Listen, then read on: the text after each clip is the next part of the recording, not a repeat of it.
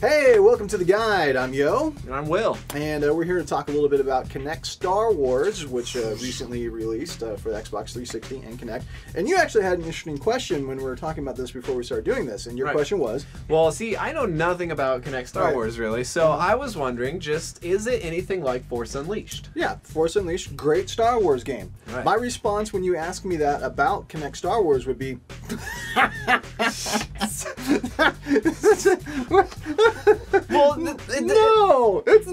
like that. I don't know what else it could be because Unfortunately, yeah, you I- know, that's what a lot of people want. right. When you say, and like, here's the thing. When it comes to Star Wars and motion control, Mm. people's imaginations just go wild. I mean, think about when the Wii was first introduced. I mean, the first thing people were thinking was what? Oh, Star Wars. Yeah, and like lightsabers with the Wii. Oh, it's gonna be awesome. How cool is that? Of course, it was never realized. I mean, um, Skyward Sword, Legend of Zelda, Mm-hmm. has one-to-one sword control, and it's pretty good. But that came at the end of the Wii's life cycle, sadly Yeah. enough. Then we never got a Star Wars game that had that, and so. When they announced Kinect Star Wars, of course, that's the first thing people were thinking.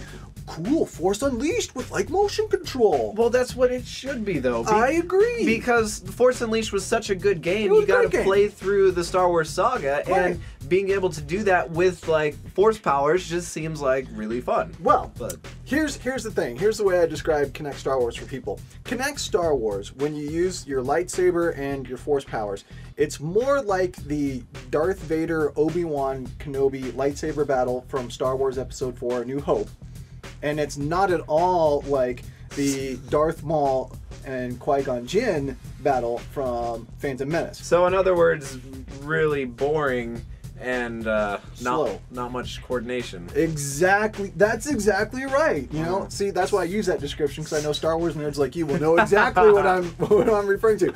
Yeah, to use Kinect controls for it, it does follow your your movements, but to actually do anything in the game, your movements have to be like very slow and very deliberate.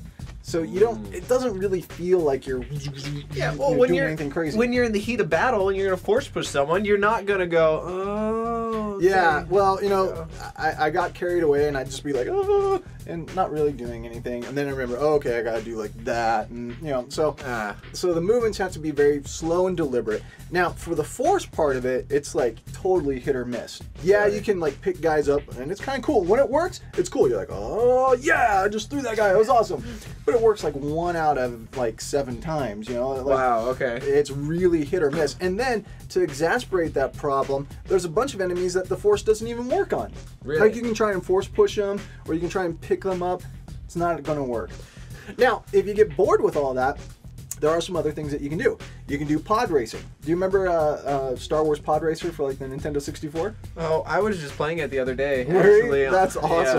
yeah. Well, this is kind of like that, except you hold out your hands to steer and stuff. But Nice. it plays really similar, and it's actually a lot of fun. So the pod racing's pretty good in the game. Is it as ridiculously fast paced as the original? Not quite as fast as the original, uh, but it is pretty intense because unlike the original, you can like smash into other pods Oh, when you're nearby and stuff. And Very cool. And yeah, so it, it's it's pretty neat. It could have been a cool game in and of itself. You also have um, this this mini game where you can play as a Rancor set loose in like uh, Mos Eisley spaceport, and it's it's simple. But it's kind of ridiculously fun because I'm Yeah. stomping around in my living room, just like throwing stuff in.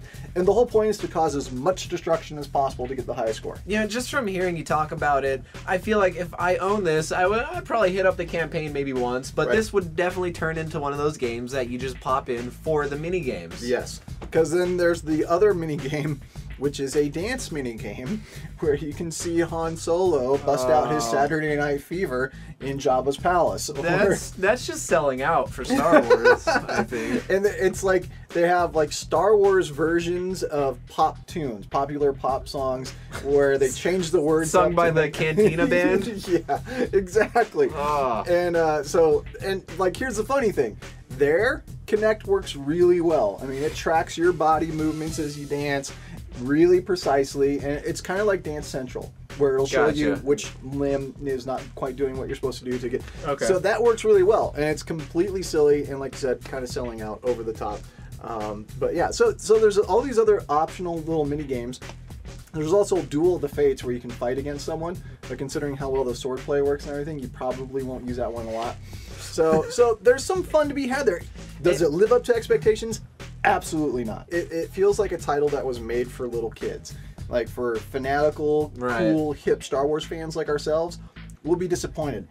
I would give uh, Kinect Star Wars a 4 out of 7 uh, because the, it, it can be fun. Right. And it does show potential. Yeah, again, we Right, see like, yeah. oh, there's some potential here with Kinect, but they just can't quite harness it, and that's the disappointing thing.